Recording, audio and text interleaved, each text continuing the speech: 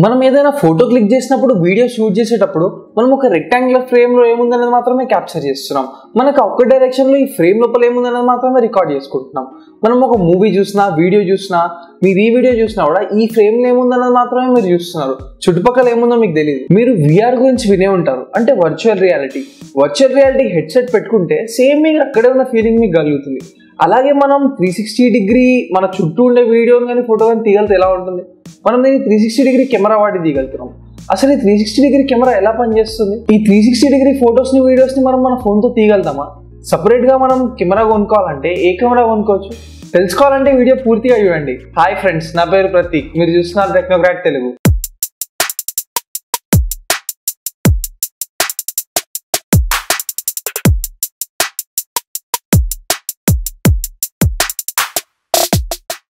మనం DSLR camera కొనుక్కున్నప్పుడు మన కెమెరాతో పాటు రెండు లెన్స్లు వస్తుంటాయి.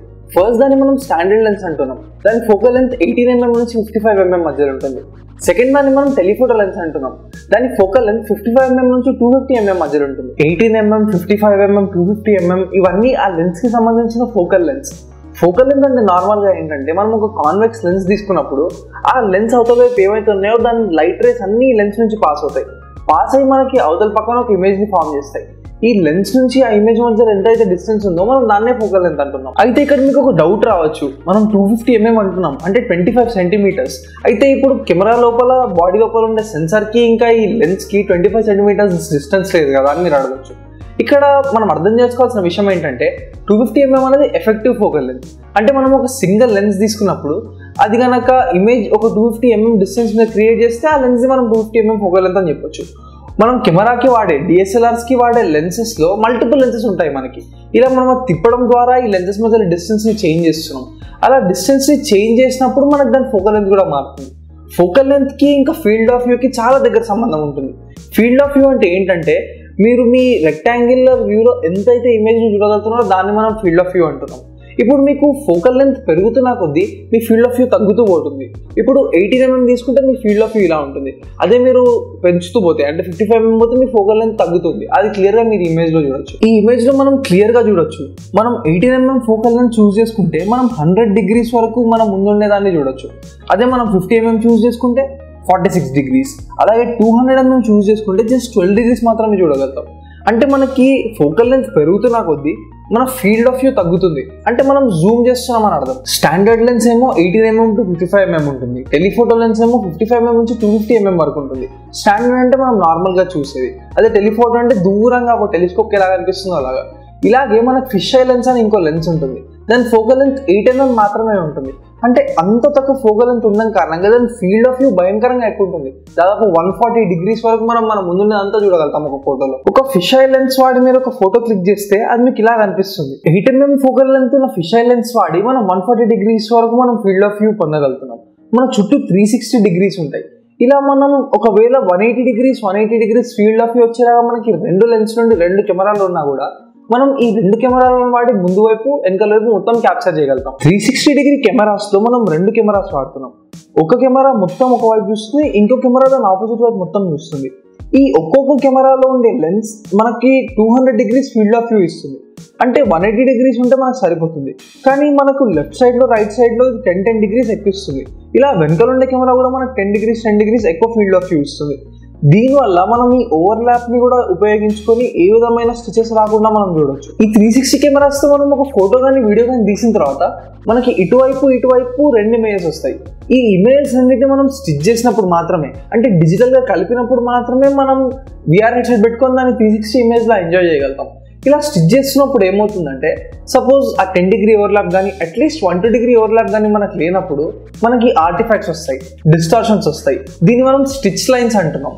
ఎందుకంటే రెండు ఇమేజ్ని మనం స్టిచ్ చేసేటప్పుడు అవి పర్ఫెక్ట్గా మ్యాచ్ అయినప్పుడు మనం ఇలాంటి ఆర్టిఫాక్ట్స్ గమనిస్తాం. అందుకే దాన్ని మనం స్టిచ్ లైన్స్ అంటున్నాం. ఆ స్టిచ్ లైన్స్ని ఈ ఆర్టిఫాక్ట్స్ని మీరు క్లియర్గా ఈ ఫోటోలో చూడొచ్చు. ఫిషర్ లెన్స్ వాడినప్పుడు మనకు one forty degrees field of view వస్తుంది. మనకి one eighty two hundred degrees field of view రావాలంటే ఆ లెన్స్ని చాలా జాగ్రత్తగా డిజైన్ చేయాలి.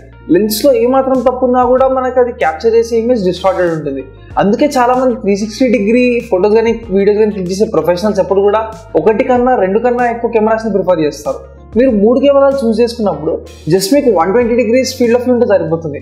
అలా వన్ ట్వంటీ త్రీ వాడితే మీకు one sixty degrees field of view వచ్చేస్తుంది. మీరు ఒక సింగిల్ కెమెరా కొని దానికి రెండు సపరేట్ కెమెరాస్ ఉన్నప్పుడు అలాంటి కెమెరా సిస్టమ్లో ఏమవుతుందంటే స్టిచ్చింగ్ ఆటోమేటిక్గా కెమెరాలోనే జరిగిపోతుంది. అదే మీరు ఇండివిజువల్ కెమెరాస్ కొని వాటిని మీరు త్రీ కానీ ఫోర్ కానీ లేకపోతే టూ కానీ అటాచ్ చేసినప్పుడు ఈ స్టిచ్చింగ్ మీరు సాఫ్ట్వేర్లో చేయాల్సి వస్తుంది. ఒకటే సింగిల్ కెమెరా సిస్టమ్లో మీకు రెండు కెమెరాస్ వస్తే వాటిల్లో ఎక్స్పోజర్ సెట్టింగ్స్ అన్నీ సేమ్ ఉంటాయి. సపోజ్ మీరు రెండు మూడు కెమెరాస్ని ఇండివిజువల్గా మీరు కనెక్ట్ చేసినప్పుడు ఖచ్చితంగా వాటి ఎక్స్పోజర్ సేమ్ ఉండేలా చూసుకోండి.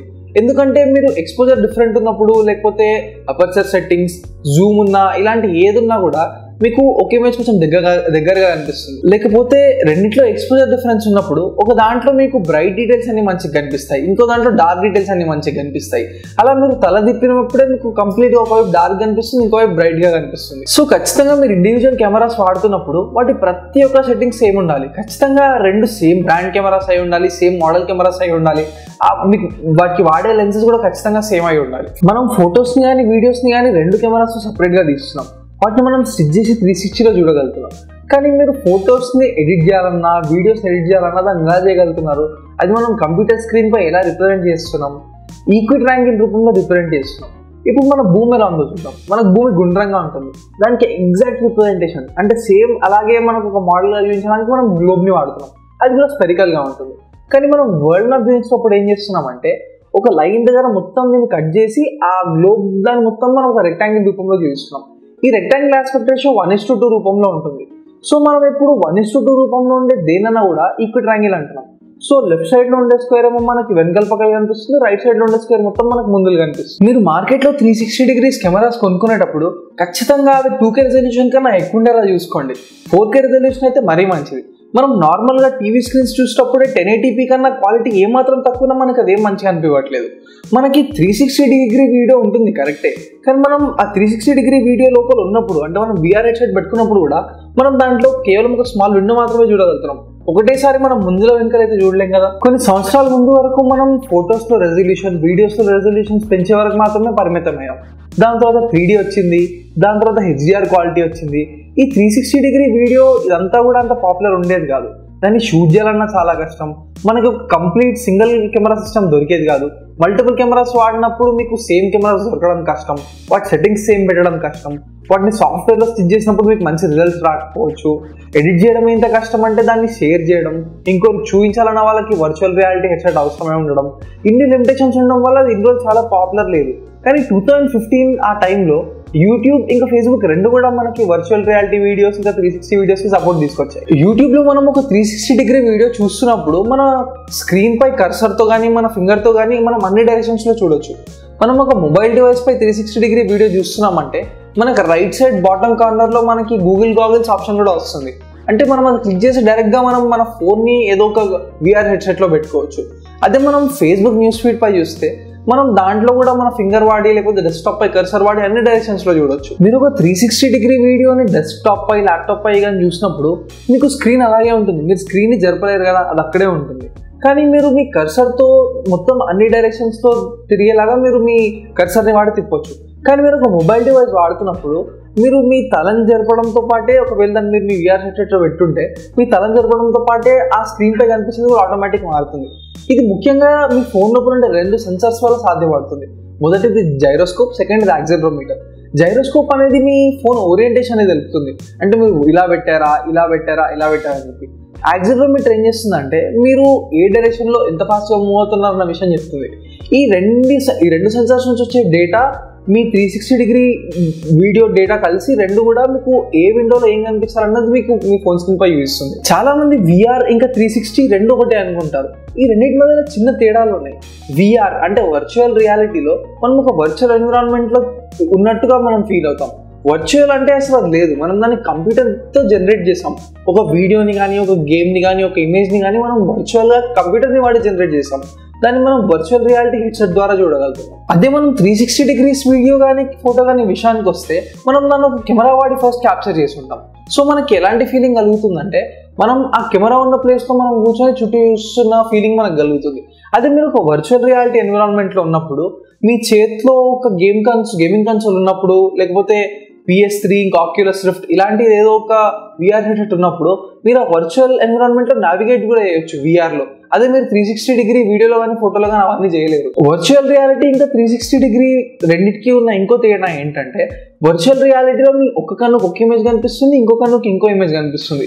దీనివల్ల మనకు ఒక త్రీ ఎఫెక్ట్ వస్తుంది. సేమ్ అది మనం ముందున్నట్టుగానే మనం ఫీల్ అవుతాం వర్చువల్ రియాలిటీ ఎన్విరాన్మెంట్లో అదే త్రీ సిక్స్టీ డిగ్రీ వీడియో అని ఫోటో అని చూసినప్పుడు ఏమవుతుందంటే మన రెండు గంటలకి సేమ్ ఇమేజ్ కనిపిస్తుంది సో మనకు అది ఏ విధమైన ఫీలింగ్ కలిగిస్తుందంటే మన తల చుట్టూ ఒక పెద్ద స్పియర్ ఉన్నట్టు ఆ స్పియర్ లోపల పక్కన ఒక ఇమేజ్ని కానీ వీడియోని కానీ అతికేసినట్టు మాత్రమే అనిపిస్తుంది కానీ మన ముందున్నవన్నీ మనకు ఎగ్జాక్ట్గా త్రీ డీ ఫీల్ వచ్చినట్టు మనకు అనిపించదు నార్మల్గా ఏ ఫిల్మ్ మేకింగ్ వీడియోస్ అయినా బిహైండ్ ద సీన్స్ వీడియోస్ అయినా మనకి యూట్యూబ్ పై లాంచ్ చేస్తూ ఉంటారు.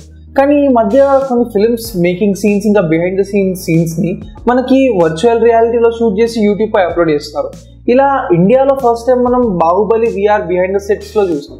ఇది ఒక three sixty degree VR video అంటే నార్మల్గానే అక్కడ కెమెరా పెట్టి three sixty degree video capture చేశారు. దీంతో పాటు ఒక వర్చువల్ రియాలిటీ వీడియో అంటే సేమ్ మీరు అక్కడ ఉన్న విధంగానే మీకు uh, ఫీల్ వస్తుంది.